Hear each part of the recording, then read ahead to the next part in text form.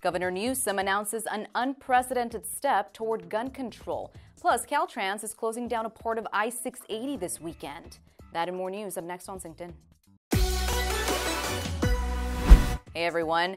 California Governor Gavin Newsom is proposing a 28th Amendment to the U.S. Constitution to restrict gun access in the country. Let me break it down for you. There are four measures in his amendment that would be instituted across all 50 states plus the territories. Here's what he's proposing. He wants to raise the minimum age to buy a gun to 21 years old, wants to mandate universal background checks, also require a waiting period for all buyers. And lastly, he wants to prohibit civilians from purchasing assault weapons.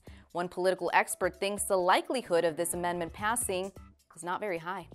Not very likely. We've had 11,000 plus uh, constitutional amendments proposed since uh, 1789. Uh, as you know, only 27 have actually uh, gone on the books.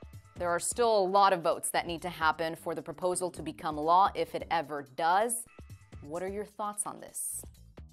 Okay, in local news, a seven year old boy had to be airlifted to the hospital on Wednesday after being bitten by a rattlesnake. It happened around 4 p.m. on a hiking trail in Mount Diablo State Park in Walnut Creek. According to a park ranger, the boy was walking through grass when he felt the bite. The rangers say they worked to keep the venom from spreading throughout the boy's body and were able to stabilize him before he was transported to the hospital. The boy is reportedly recovering and doing okay. Quick FYI here, Caltrans is closing down all southbound lanes of I-680 in Pleasanton this weekend, beginning Friday at 10 p.m. through 4 a.m. on Monday.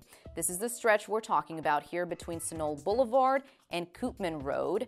Caltrans says the closure is to replace a portion of the existing deteriorated roadway with new pavement. The northbound lanes, by the way, will not be affected at all.